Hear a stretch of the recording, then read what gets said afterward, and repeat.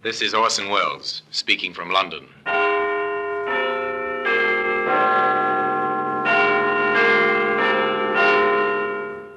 Here in the grim stone structure on the Thames, which houses Scotland Yard, is a warehouse of souvenirs. Where everyday objects, a candlestick, a china doll, a broom, all are touched by murder. Now take this button, this brass button. The symbol of a barracks parade ground, but this was not found on any parade ground. This is interesting, sir. A brass button. Very interesting, Sergeant. It's from an army uniform.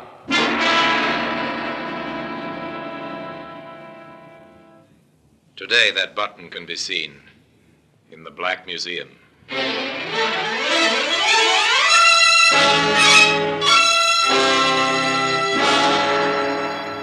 From the annals of the Criminal Investigation Department of the London Police, we bring you the dramatic stories of the crimes recorded by the objects in Scotland Yard's Gallery of Death, the Black Museum.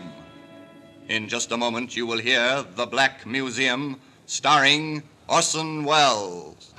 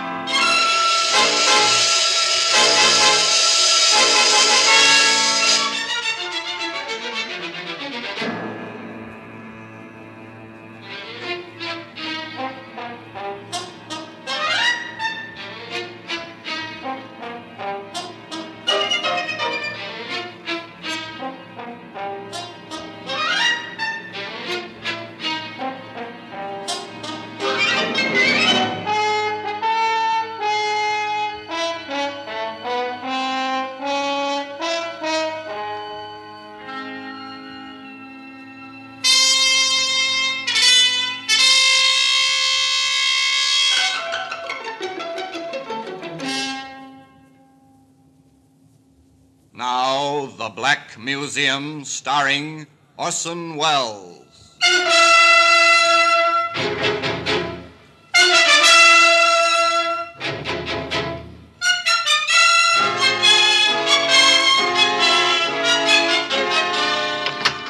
Well, here we are in the Black Museum.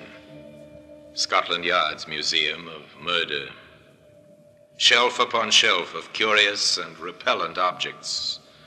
The urge to kill, illustrated in many, many ways. Here lies death. Here, in the echoing stillnesses of the long room, one stands and looks at violence, expressed by the exhibits that line the shelves, the tables, and the walls. Repellent they may be, but by reason of their association only, for most of these tokens of murder are very ordinary objects. It's a medicine bottle. The drug it contained was beneficial in small doses. But since a woman was forced to drink the whole contents and died shortly after, the jury called it murder. Here's a kitchen knife. No household is without one, but this knife was not used solely for kitchen tasks. It was found embedded in a man's heart. Now, here we are, the brass button. It is. It's an innocuous, ordinary brass button. This was found near the dead body of a woman. But come back with me to the beginning of this story, to a day some years ago on the common outside the Kentish village of Wayfield. A girl was sitting beneath a tree, busily sketching. She was too engrossed to hear the approach of a young soldier until he spoke. Hello? Hello? Sorry. Did I frighten you? A little? I didn't hear you coming. Oh, I made enough row. You were so busy with whatever you're doing. What are you doing? Sketching? Can I see? You'll probably laugh. No, I won't. Show me. Hmm. That's very good. Do you really think so? Well, it's fine. You must be the one they call the Swamp Girl. That's what they call me in the village. Poor, routine, dull people. You don't like routine ways of living, do you? From what I've heard, you're something of a rebel. Am I? Hmm. You seem to know a lot about me. Oh, I've heard things. What kind of things? About how you live in an old shanty at the edge of the swamp and how you roam the common and sketch and paint. You're well informed. Well, people talk about you sometimes. I was interested. And so you came down to see for yourself. Well, what's the matter? Couldn't you find a girl in town? Don't say that. I wanted to meet you, to talk to you. And now that you have, will you please go away and let me work? Oh, you can work any time. I'll go away soon, if you're nice to me. Go now. I've no intention of being nice to you, whatever you may think. Come on. Hmm, get away. When you found out so much about me, you might have also found out that I'm not interested in men. Least of all, soldiers. That's not very kind. Come here. No. Go away. Come Go on. here. No. no. No, please, please don't hurt me. No, please. No!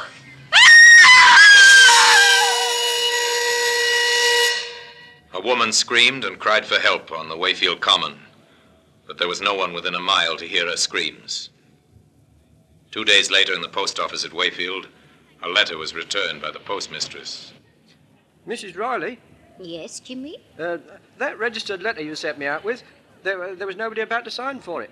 Wasn't the swamp girl at home? No, ma'am. I called out Miss Morgan, but there wasn't any answer.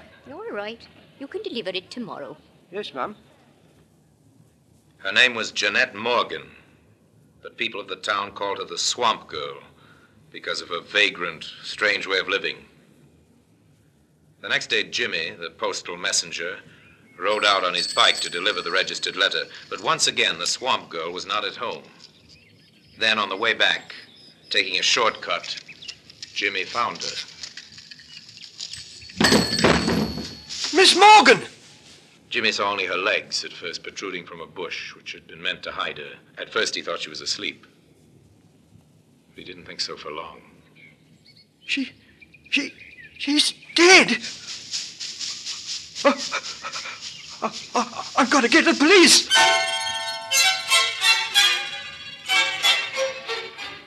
Murder transforms a little village like Wayfield. All work ceases. The people gather in small groups in the streets to talk about it. Yeah, have you heard the news? There's been a murder. Aye? A murder? Yes, out on the common. Who? The swamp girl. They found her body. I was rather afraid that poor girl would come to grief sooner or later. Well, Vicar, you know how it is these days. No parental authority. Ah, more's the pity. Be that as it may, the man who did it must be found. You know, Bert, if young Jimmy Miles hadn't come upon that body like he did, it might have lain there hidden for months, even years. I wonder how it happened. Well, now, the way I sees it is this. Now, in the bar of the local, they sipped their beer and discussed the sensation. Jimmy became something of a hero. He'd found the body and even now is being questioned by the London detectives from Scotland Yard. Uh, this is uh, Jimmy Miles, sir. Hello, Jimmy. You found the body, I understand. Uh, y- yes, Inspector Gallico. Uh, Was she really murdered, sir? Well, that's what we must find out. And you can help us. Oh, really? How? I believe you rode out to her shanty at the edge of the swamp to deliver a registered letter to Miss Morgan. Yes, that's right, sir. Uh, She used to get a registered letter every month. I always took 'em out. And she had to sign for them, of course. Oh, yes. Then you got to know her, I suppose. Well, don't tell the postmistress, but sometimes I did stay and talk for a while. Uh-huh. And what was she like? Oh, she, she was nice, uh, really friendly. People said she was a bit peculiar, but I never thought so. A- And she could draw, sir. Now think carefully, Jimmy. Did you ever see her with anyone, man or woman? Oh, never, Inspector. She had no friends around here. She once told me so. No friends, I see. Now, about this registered letter. Was that the first time you had taken it out? Oh, no, sir. I, I went out the previous day, uh, on Monday, but she wasn't there. Did you call out? Yes, and I, I went round the common to the places where she used to go and sketch. I knew most of them. And she wasn't anywhere about. No, nowhere at all. What time of the day was this? Well, I, I just left the post office just on ten. It's about half an hour's ride. So you were out there by 10.30. Hmm. All right, Jimmy. Thank you very much. Is that all, Inspector Gallico? That's all for the moment. You've been very helpful. A lucky witness, young Jimmy Miles. A break for Inspector Gallico early in the case. For with the evidence of the police surgeon, certain facts could be established. What's your verdict on the post-mortem, Doctor? Well, the cause of death didn't give us any trouble, Inspector. She was strangled. What about the time of death? Hmm, that's not so easy. I'd say she died 48 hours ago, at least. Wait a minute. That means before noon on Monday. It ties in, Doctor. Good. But at what time before noon, I would not care to predict. The contents of the stomach indicate she'd had breakfast. Then sometime between breakfast and noon she met her death. And she was nowhere about 10.30 when the postal boy brought her her letter. What about that letter, Sergeant? Uh, uh, I have it here, sir. Who's it from? It's from uh, Mrs. Morgan of Tunbridge Wells, her mother. Money, I suppose. Uh, ten pounds, sir. And a plea to come home and live a normal life. Poor Mrs. Morgan. Her daughter couldn't even die a normal death. The pattern of the crime begins to make itself clear. The victim's identity is known. The approximate time and the cause of death is known. Now the hunt will begin for the killer. Here is a police message. The body of a woman named Jeanette Morgan has been discovered on Wayfield Common. Evidence suggests that she met her death by strangulation sometime before noon on October the 19th. Any person who was in the vicinity of Wayfield Common on that day, or can give any information, should communicate with the nearest police station in order to assist in the search for the murderer. And in this, the police will be aided by a brass button. That same brass button that today can be found in the Black Museum. In just a moment, we will continue with The Black Museum starring Orson Welles.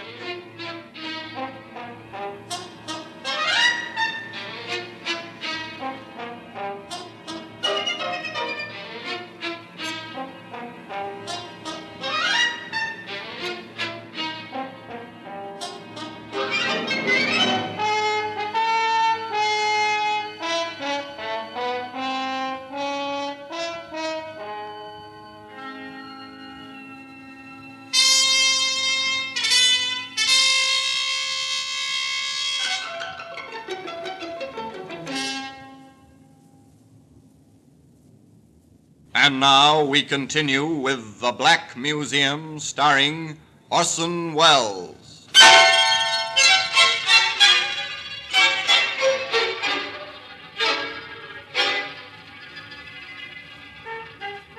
To a small cottage in Tunbridge Wells now go the detectives from Scotland Yard. To a house with the blinds drawn, where a thin, bitter woman answers their questions in a strangely lifeless voice. Yes, I knew. I knew it was Jeanette when I saw the newspapers. Why didn't you get in touch with us, Mom? Oh, I knew you'd get in touch with me if you wanted me. Besides, what business is it of mine? But she was your daughter. Was she? Jeanette's younger sister lives here with me. Works at a shop nearby. She's my daughter. Yes, I see what you mean. I warned her. I told her it had come to no good end, living that strange and unnatural kind of way. Mrs. Morgan, we won't trouble you any longer, but could you tell us, did your daughter have any close men friends? Men friends? Yes. Jeanette? I wish she had. But a boyfriend would have been too ordinary for her. She had to be different. She had to be the swamp girl. I'm sorry. Why did it have to happen to her? To me? Why? Why? Why?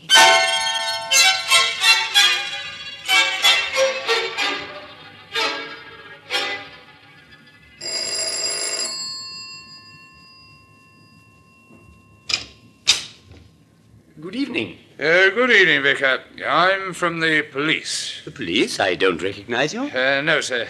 You see, I'm not from the local police. Uh, I'm from London. And I'm down here in connection uh, with the murder. Oh, yes, terrible, yes. But uh, how can I help you? Well, you can help a good deal, sir. You see, the local police are pretty short handed, and Inspector Gallagher has decided that our next move should be to make a very thorough search of the common, uh, particularly round about where the body was found. Oh, I, I see. And I suppose you want some help from my parishioners. Yes, sir, that's uh, roughly the idea. Ah, very well, then. We'll help you in every way we can. You can depend upon us. All right, Sergeant. Let's get on with the search. Very good, sir. You take Smart and work in from the road. All right, I'll sir. take Rogers and work in from the field side. I'll meet you by the ditch. Yes, that'll be all right, sir. Uh, here, sir.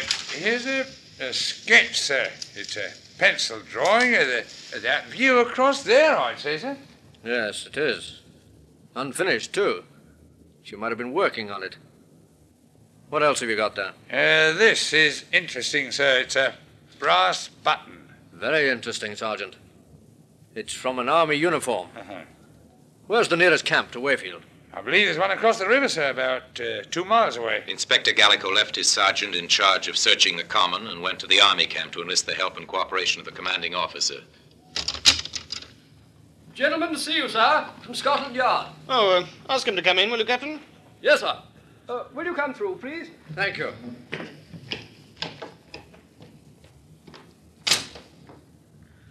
Major Curtis, I'm Inspector Gallico from Scotland Yard. Oh, how do you do, Inspector?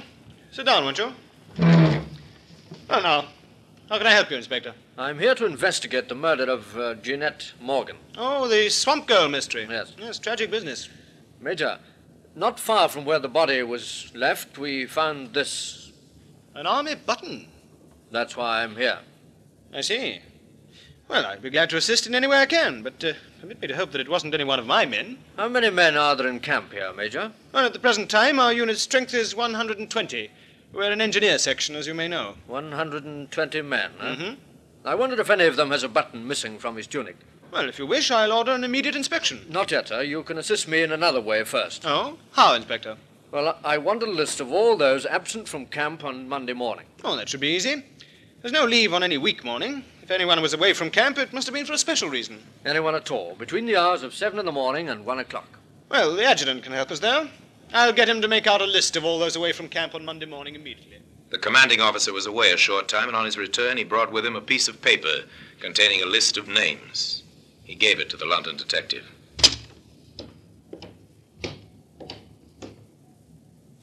Yes, there you are, Inspector. Five men were away from camp during the time you asked about. Hmm.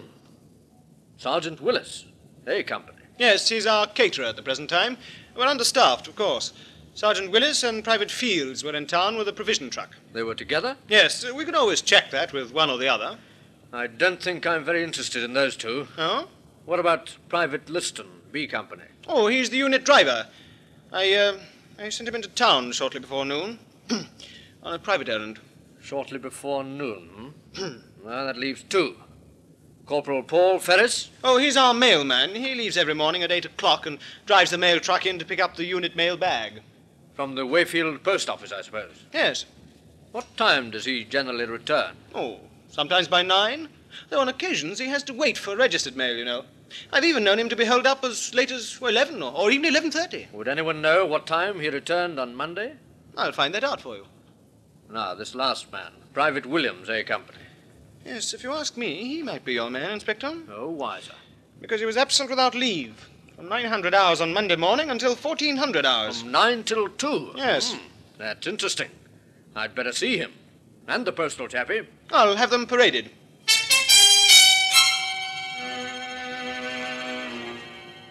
Corporal Ferris, Private Williams, this is Inspector Gallico from Scotland Yard. He has some questions to ask you both. Thank you, sir. Corporal Ferris, we'll take you first. Yes, Inspector. What time did you leave camp last Monday morning on your mail run? At 800 hours, sir. And what time did you return? Well, I, uh, if I remember correctly, the mail was brought round rather late that morning, Corporal. Yes, sir. I was just about to explain to the inspector. I had to wait for several registered letters. What time did you actually return? Uh, shortly before 1100 hours, sir. Thank you, Corporal. Now, Private Williams. Um, you were absent without leave throughout Monday morning. Yes, sir. Are you able to give a satisfactory account of your whereabouts? I'd uh, prefer not to, sir. Private Williams has consistently refused any explanation of his conduct, Inspector. Oh, that's rather unwise, Williams. If you have an alibi, you'll need it. This is an investigation into murder. Murder? I didn't do no murder. I was with me girl in Wayfield. Ah. What's her name? Hey, Susie Walker, Nine High Street. You asked her if I wasn't there. Oh, I didn't want to get her into any trouble, you understand, that's all. But murder? Oh, I don't know nothing about the girl who was killed. Honest, I don't. Well, we'll check your statement, Williams. I've finished with them now, sir. Corporal Ferris, Private Williams, dismiss. Inspector Gallico drove into Wayfield to number 9 High Street. Oh, no. Susie wasn't out with him that day. I remember it distinctly. She went over to see her girlfriend at Kenbury. Well, you can ask her yourself.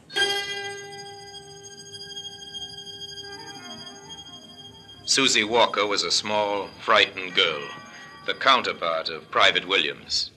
Oh, Inspector, I hope he hasn't done anything wrong up at the camp in not telling them where he was. Oh, that'd be terrible. He wouldn't tell a lie, I know that. I'm sure of it. You see, we'd had a quarrel, and he wanted to see me. I didn't dare let Mother know, so I made up a story about it. She confirmed his alibi, and Gallico went next to the post office to interview Mrs. Riley. Just one inquiry I'd like to make, Mrs. Riley. Oh, anything at all, Inspector. Anything. To think of that poor girl. And my Jimmy Miles finding a body. Mrs. Riley, uh, can you recall offhand whether you had any registered mail for the Army unit on Monday? Hmm, registered mail on Monday. Well, now, I couldn't remember offhand, Inspector, but I'll have it here in the book. Wait a minute and I'll look it up. No. No, there was nothing on Monday. There hasn't been a registered letter for the Army since last week. Then the postal corporal wouldn't have been delayed on Monday morning. Oh, not him. He was in for his mail bag and out again quick as you like. Didn't even stop for a chat. I remember that now. What time would he have left here, Mrs. Riley? Can you give me any idea? I can give it to you right on the dot. It's come back to me quite plainly. Mm-hmm. We open at 8.30. Corporal Ferris was here waiting when I arrived to open up. 8.30. And he didn't stay? No, not more than a few minutes.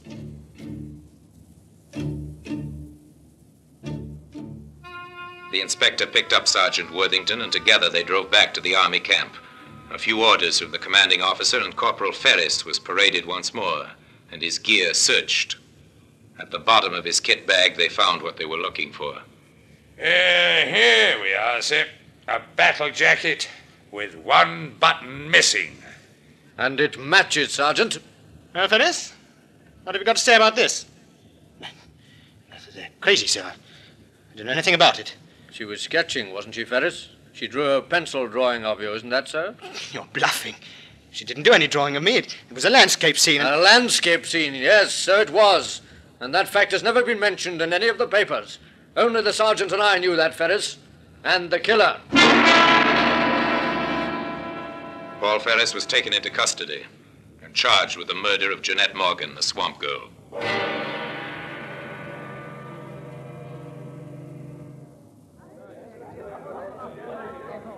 Silence in court! Ladies and gentlemen of the jury, you have heard the facts in this case as related by the witnesses which have been called, both by the defense and the prosecution. Prisoner stands before you accused of the crime of murder, a particularly brutal murder, a murder without motive. But lack of motive is not necessarily a defense.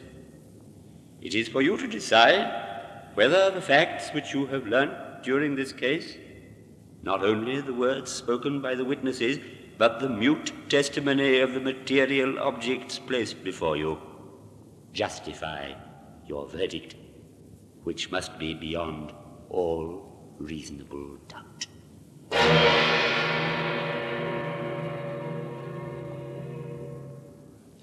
The brass button and a slip of the tongue led to his downfall.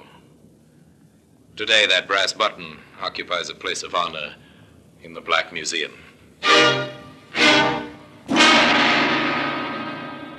Orson Welles will be back with you in just a moment.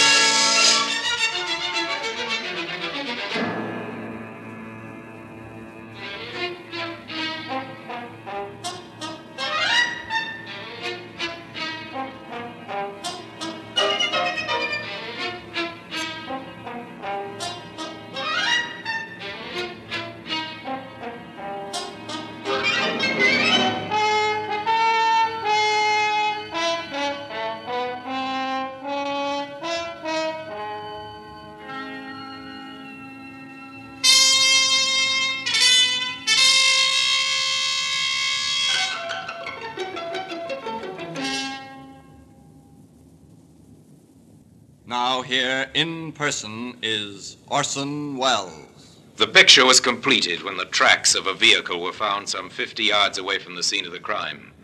The tracks were identified as those of the mail truck, of which the driver had been Corporal Paul Ferris. The defense did their utmost to prove insanity, but the jury were in little doubt that the man was sane, and that his advances repulsed, he'd strangled the swamp girl to death. They took 17 minutes to find him guilty, and the brass button which had led to his arrest was Exhibit A on the courtroom table, from where, at the end of the trial and the pronouncement of the inevitable death sentence, it was taken to its present resting place in the Black Museum. And now, until we meet next time in the same place, and I tell you another story about the Black Museum, I remain, as always, obediently yours.